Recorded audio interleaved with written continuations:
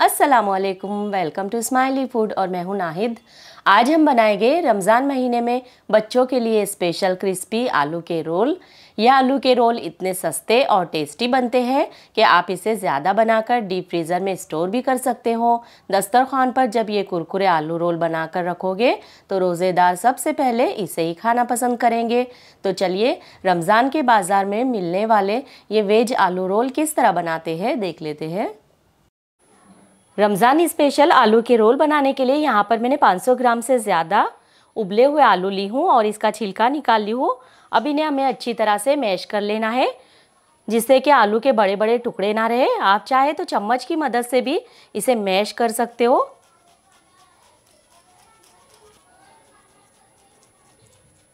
तो अब इसमें कुछ चीज़ें डालेंगे हम। तो यहाँ पर देखिए दो से तीन चम्मच मैंने मकाई ली हूँ। तो थोड़ी सी हल्दी पाउडर डालकर मकाई को मैंने उबाल कर ले ली हूँ। अगर आपके पास ये नहीं है तो इसकी जगह पर आप उबले हुए मटर भी ले सकते हो। बच्चों को मकाई बहुत ही अच्छी लगती है। तो इस तरह से आलू के रोल में डालेंगे तो बच्चों को बहुत अच्छा लगता है। और अगर आपके पास मकाई के दाने नहीं हो, उबले हुए मटर नहीं हो तो कोई बात नहीं, सिर्फ़ आलू से भी आप बना सकते हो। दो चम्मच मैंने शिमला मिर्च को बारीक काट कर ली हूँ। अब एक छोटा चम्मच कुटी हुई लाल मिर्च डालेंगे। अगर आपके पास कुटी हुई लाल मिर्च नहीं है तो आप लाल मिर्च का पाउडर भी डाल सकते हो। आधा चम्मच काली मिर्च का पाउडर। आधा चम्मच है ज़ीरे का पाउडर। एक छोटा चम्मच है चटपटा सा फ्लेवर देने के लिए चाट मसाला पाउडर। आधा इंच अदरक को क्रश करके ली हूँ मैंने। दो हरी मिर्च को बारीक काट कर लिया है। तीखा आप अपने हिसाब से कम ज़्यादा कर सकते हो। अब नमक डालेंगे टेस्ट के मुताबिक। अब यहाँ पर देखिए, मैं बच्चों के लिए स्पेशल बना रही हूँ क्योंकि रमज़ान में हम तीखी तली हुई चीज़ें जैसे चिकन, मटन की फ्राई आइटम बनाते ही है। लेकिन अगर बच्चे रोज़े रखें तो बच्चों को भी खुश करने के लिए मैं इसमें डालूँगी चीज़ क्यूब तो यहाँ पर मैंने अमूल के तीन चीज़ क्यूब ली हूँ। अगर आप डालना चाहते तो डालें, वरना स्किप भी कर सकते हो। लेकिन बच्चों को ये फ्लेवर बहुत अच्छा लगता है, चीज़ वगैरह डालते हैं तो। तो चीज़ को हम बारीक ग्रेट करके डालेंगे। आपके पास कोई भी चीज़ हो तो आप इसमें डाल सकते हो। तो इस तरह से ग्रेट करके चीज़ को डाल देना है।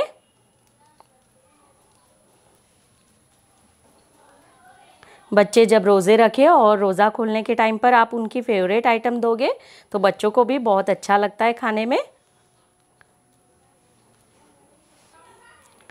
तो तीनों चीज़ क्यूब को मैं इसी तरह से ग्रेट करके ले लेती हूँ। तो अब इसमें हम बाइंडिंग के लिए डालेंगे कॉर्नफ्लोर। तो यहाँ पर मैंने कॉर्नफ्लोर ले लिया है। तो दो से तीन चम्मच हम कॉर्नफ्लोर डाल देते हैं। कॉर्नफ्लोर नहीं है आपके पास तो आप इसमें मैदा भी डाल सकते हो। या फिर ब्रेड क्रम्स भी डाल सकते हो, जिससे बाइंडिंग बहुत अच्छी तरह से हो जाती है। तो इसे अच्छी तरह से पहले मिक्स कर लेंगे, अगर ज़रूरत पड़ेगी। तो एक चम्मच फिर से हम इसमें कॉर्नफ्लोर मिला देंगे। तो हल्के हाथों से सभी चीज़ों को मिक्स कर लेना है। मकाई, शिमला मिर्च और चीज़ तीनों का कॉम्बिनेशन साथ में बहुत अच्छा लगता है। हल्के हल्के हाथों से इसे मिक्स कर लेंगे। ये देखिए मिक्स करते टाइम पर थोड़ा ढीला लगे तो और इसमें कॉर्नफ्लोर डाल सकते हो आप। तो अभी एक चम्मच और डाल देती हूँ मैं। तो टोटल यहाँ पर चार चम्मच मैंने कॉर्नफ्लोर ली हूँ इस चम्मच से। तो अगर आपको भी ढीला लगे तो आप इसमें कॉर्नफ्लोर मिला सकते हो, या अगर आपके पास ब्रेड क्रम्स हो तो वो भी इसमें मिला सकते हो। आटे की तरह इसे गूंद लेते हैं हम हल्के हाथों से। ये देखिए मैंने मिक्स कर लिया है। अभी इसे साइड में रख लेंगे हम और रोल बनाने के लिए ऊपर से जो चिपकाते हैं ना तो वो घोल बना लेते हैं मैदे का। तो अभी इसे साइड में रख देती हूँ मैं। मैदे का घोल बनाने के लिए यहाँ पर मैंने मैदा ले ली हूँ छान कर तो तीन चम्मच हम मैदा ले लेंगे। तो पहले से ये घोल बनाकर तैयार कर लेना है आपने। यहाँ पर कॉर्नफ्लोर लिया है तो कॉर्नफ्लोर भी दो चम्मच डाल देती हूँ मैं। थोड़ा नमक डालेंगे टेस्ट के मुताबिक, ताकि ऊपर से भी रोल बनने के बाद फीके फीके से ना लगे। थोड़ा सा टेस्ट देने के लिए यहाँ पर थोड़ी सी कुटी हुई लाल मिर्च ली हूँ मैंने। और थोड़ी सी ही काली मिर्च है पाउडर है काली मिर्च का। थोड़ा थोड़ा पानी डालकर इसका घोल बना लेना है। बहुत ज़्यादा पतला भी नहीं और बहुत ज़्यादा गाढ़ा भी नहीं। अगर बहुत ज़्यादा गाढ़ा घोल बना लोगे तो फिर रोल के ऊपर ज़्यादा कोटिंग हो जाएगी और फिर वो खाने में मज़ा नहीं देगी तो हल्का सा पतला बनाना है। ये गुटलियाँ अच्छी तरह से तोड़ लेनी है। इस तरह से चम्मच की मदद से मिक्स करते हुए। ये देखिए, आधा ग्लास पानी डालकर मैंने घोल तैयार कर लिया है। घोल बहुत ज़्यादा पतला भी नहीं है और बहुत ज़्यादा गाढ़ा भी नहीं है। इस तरह का घोल हमें रेडी रखना है और यहाँ पर मैंने ब्रेड क्रम्स भी ले लिया है, ये देखिए। तो इस तरह से हम रोल को मैदे में डीप करके ब्रेड क्रम्स लगाकर फ्राई करते हैं ना तो बहुत अच्छे क्रिस्पी हो जाते हैं। तो अगर आपके पास ब्रेड क्रम्स नहीं हो तो टोस आते हैं ना, जिसे हम चाय के साथ खाते हैं तो उसे भी मिक्सर में पीस कर ले सकते हो। तो पहले से ही आपको ये मैदे का घोल और ब्रेड क्रम्स तैयार रखने तो चलिए अब हम रोल बनाते जाते हैं और इसमें डिप करके ब्रेड क्रम्स लगा लेते हैं। अब रोल बनाने के लिए हाथों पर थोड़ा सा तेल लगा लेंगे हम। और थोड़ा सा आलू का ये मसाला लेना है, जो आलू का मावा तैयार किया है हमने। इसे गोल गोल कर लेना है। और आप चाहे तो इसे टिक्की का शेप दे सकते हो, या सिलेंडर की तरह रोल बना सकते हो। तो अभी मैं रोल बना रही हूँ, इसीलिए इस तरह से सिलेंडर का शेप दूँगी। ये देखिए, बहुत आसानी से बन जाते हैं। थोड़े छोटे साइज़ के बना रही हूँ मैं तो आपकी मर्ज़ी है। आपको जैसे साइज़ में बनाना है, जैसे शेप देना है, उस तरह से आप इसका शेप दे सकते हो। बच्चों को इस तरह से खाने में बहुत ही मज़ा आता है, देखिए। और आलू से बनाए बच्चों को बहुत पसंद है आलू, चीज़ डाली है हमने। आप चाहे तो इसमें गाजर भी डाल सकते हो, हमने शिमला मिर्च और मकाई ली है तो। ये देखिए इस तरह से। छोटे छोटे रोल बना लेना है और फिर इसे मैदे में डीप करना है, जो हमने मैदे का घोल बनाया उसमें। ये देखिए, इस तरह से और फिर ब्रेड क्रम्स में डाल देना है।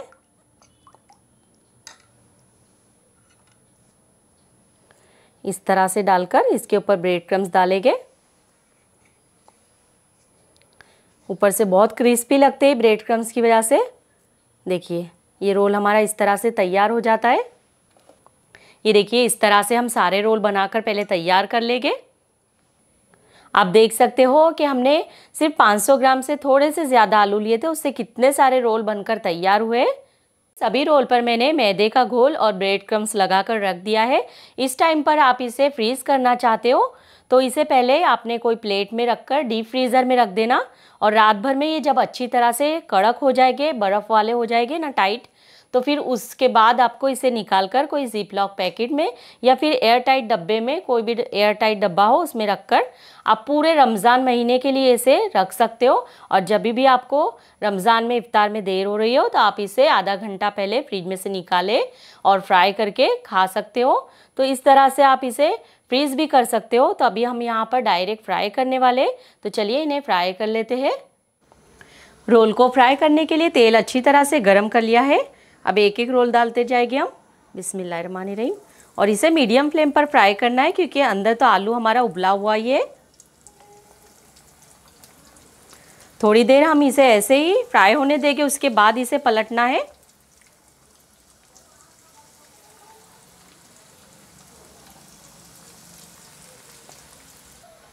यहाँ पर एक मिनट हो गई है, इसे हम पलट लेते हम और उलटते पलटते अच्छे से सभी तरफ़ से गोल्डन होने तक फ्राई करेंगे।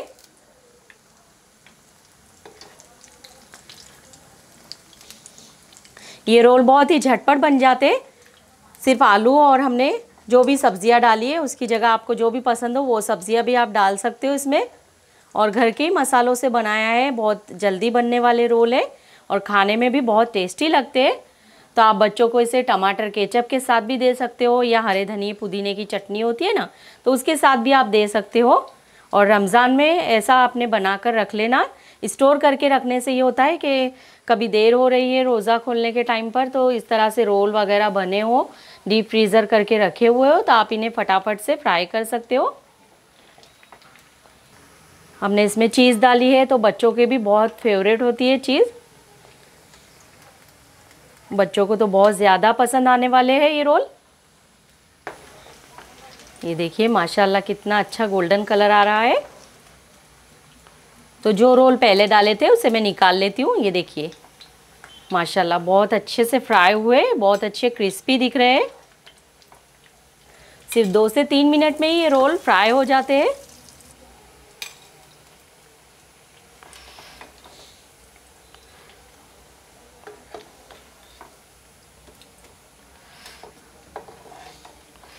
ये देखिए, झटपट ये रोल बनकर तैयार हो जाते हैं और देखने में आप देख सकते हो कि दिखने में कितने ज़्यादा क्रिस्पी लग रहे हैं। खाने में भी ये बहुत ही मज़ेदार और लाजवाब लगते हैं। ये देखिए, इसकी आवाज़ भी सुना देती हूँ मैं कि कितने ज़्यादा क्रिस्पी बने हैं।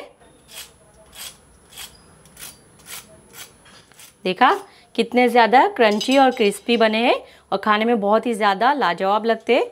इसे मैं निकाल लेती हूँ। तो मेरे पास जाली वाला बर्तन है, ऐसे तो इसमें बहुत ज़्यादा तेल नहीं जाता है, लेकिन फिर भी मैं निकाल लेती हूँ। ये देखिए, और इसी तरह से बाकी सारे रोल को हम फ्राई कर लेते हैं। हमने मैदे के घोल में रोल को डुबाकर फ्राई किया था, जिसकी वजह से अंदर की साइड बिल्कुल भी तेल नहीं जाता। ऊपर से क्रिस्पी, अंदर से सॉफ्ट आलू के रोल इतने टेस्टी बनते हैं कि बच्चे हो या बड़े, सभी को पसंद आएँगे। तो आज की इफ्तारी स्पेशल आलू रोल की रेसिपी पसंद आई हो तो वीडियो को अपने दोस्तों और रिश्तेदारों में शेयर करिएगा। चैनल को सब्सक्राइब नहीं किया है तो जल्दी से सब्सक्राइब कर लीजिएगा। अपना बहुत सारा ख्याल रखें, दुआओं में हमें भी याद रखें। फिर मिलते हैं इंशाल्लाह एक नई रेसिपी के साथ। अल्लाह हाफिज़।